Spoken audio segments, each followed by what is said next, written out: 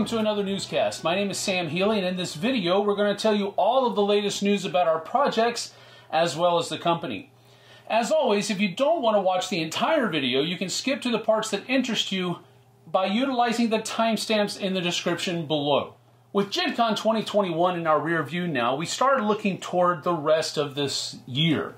Gen Con was probably the last convention this year that we will attend in force, but I know Helena and Benoit will be attending Essen to try and keep our presence there from waning. There's also talk that I'll go to PAX Unplugged in a similar fashion to monitor trends and see what people are gravitating towards in general. Next week, I'll be in Florida to take part in the Dice Tower Autumn Spectacular on October 4th through 6th. I'll be showcasing two Mythic Games products, Enchanters Darklands and Six Siege the board game, and we'll be taking part in several other games during the event as well.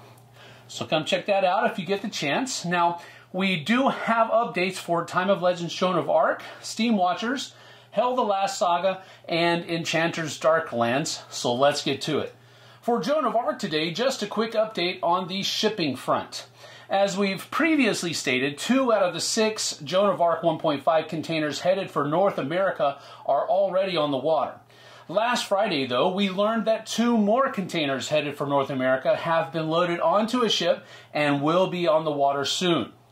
Please be reminded, though, that fulfillment will not begin in North America until all six containers have arrived, but more on that in just a moment.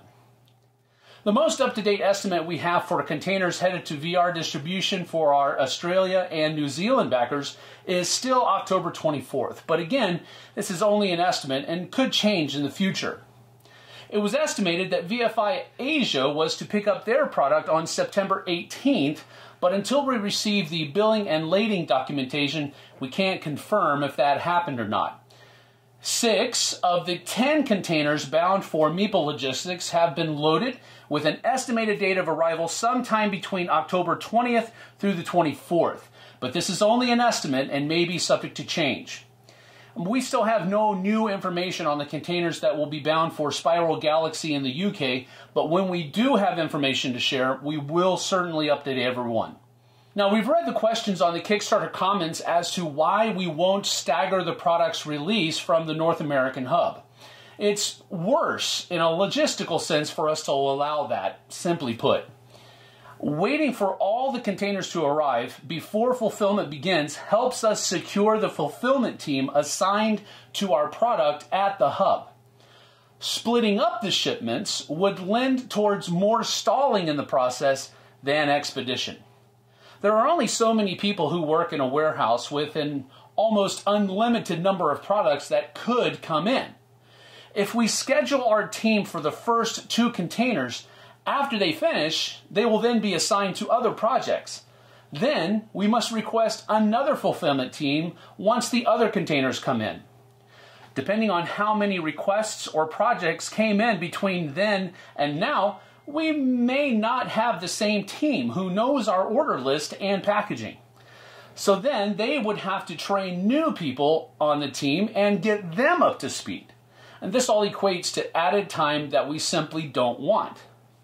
But if we hold everything until the pledges are ready, all the packages will be sorted by state and region, and one team of workers will go through the fulfillment training process once and then hit the ground running. We certainly understand that you're anxiously awaiting the arrival of your game, but please understand that we're trying to be as expeditious as possible to avoid further delays. For SteamWatchers today, as we've reported previously, our 40 foot container was stuck in LA Harbor in what was reported as a record breaking traffic jam of sorts.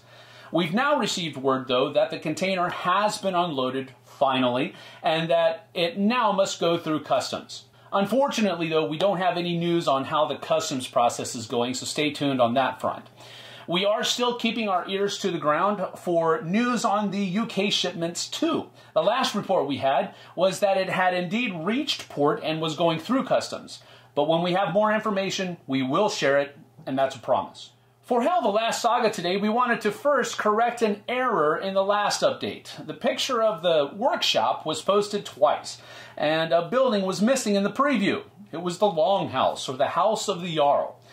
Apart from the buildings, though, we also received additional illustrations for some of the specific scenarios, which will be out of the usual routine, like this zoom in of the Snekkja, or the longboat, at the dock below the hero's camp.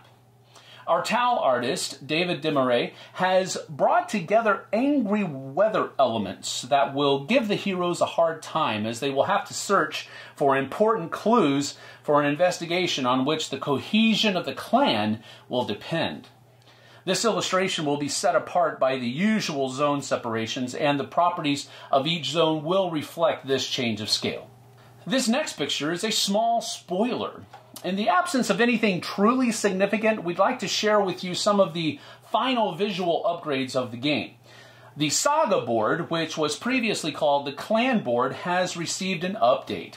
This new version has been validated following feedback from external playtests that showed it had interface flaws, and it is the one that you will find in the box.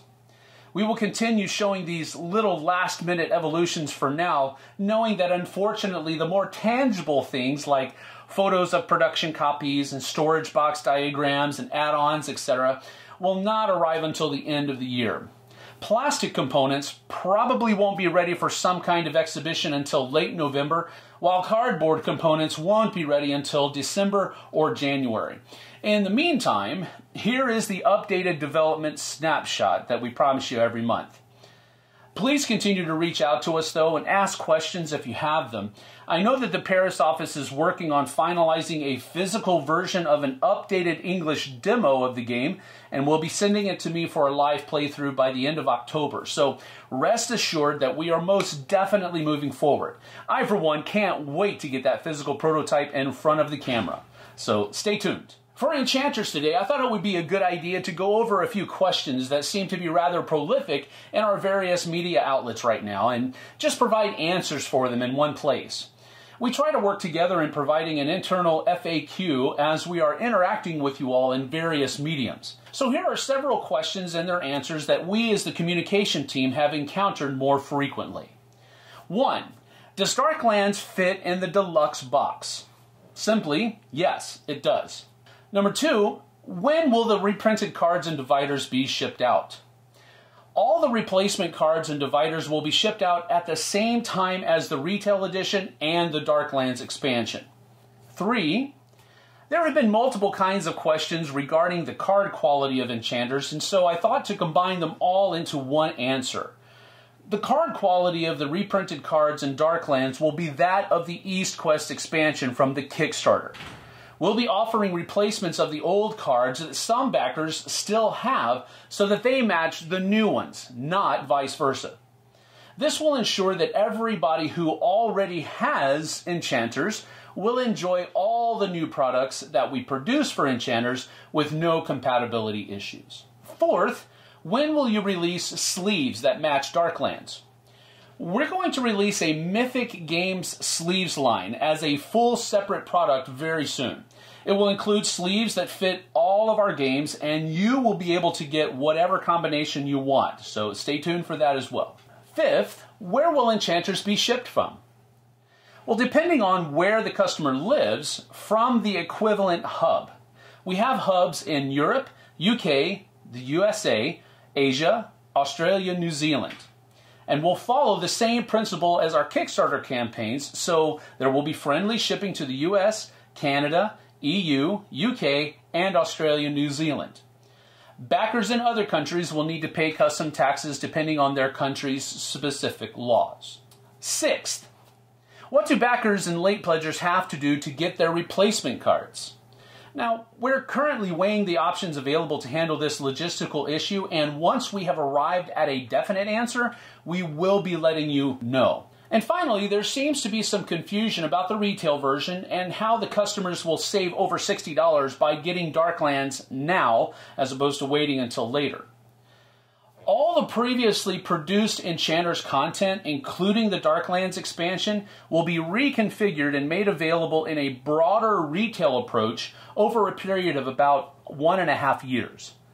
All the kingdom decks will be split up into dual decks holding two kingdoms in each dual deck product. Additionally, we're configuring three medium sized products, each of which will introduce new game mechanisms. So, for example, the banners and classes deck will go into one medium sized product. This means that all the banners and classes cards from the previous expansions, Darklands included, will be part of that medium sized product. The other two medium sized expansions will contain the Overlords in one and Quests in another. Unfortunately, we can't forecast what the price of those medium sized products will be when they enter retail distribution, as it is challenging, to say the least, to estimate how production costs and shipping costs might change in the next one and a half years. However, if the medium sized products were made available today, they would retail for $30 each. So if you do the math, three medium products at $30 each plus three Kingdom deck expansions at $15 each equals $135 in the future for all the Darklands materials versus $30 in the eShop right now. Now, we're looking at some way to make this a bit clearer soon, whether it's making a video that explains it or something similar to that. The comms team will continue monitoring all the various avenues of communication and respond in kind, and I sincerely hope that this has been informative for everyone. Now remember that Leo will be live tomorrow at 6 p.m. GMT, 1 p.m. Eastern Time on our YouTube channel with a live Q&A in English and at 8:30 p.m. Paris time with a live Q&A in French. So tune in if you have any questions or just to see what he might spoil. But even if he doesn't spoil anything as I've said, it's usually a pretty fun time anyway. I'll be hosting a live Q&A on Friday morning at 9 a.m. Pacific Standard Time, going over my Gen Con haul, as it were. It's not very large, but it might be interesting anyway. And I'll also be answering any questions that you may want to ask. Since I'll be out of town next Monday and Tuesday, there won't be a newscast next week, but it'll be back in swing the following week. that's it for today. Stay safe, play some games while you're at it, and we'll see you guys and gals on the flip side. Take care.